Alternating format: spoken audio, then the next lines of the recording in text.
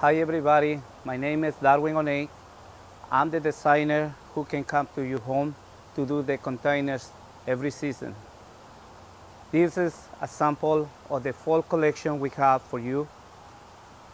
Like the colors and the textures we got.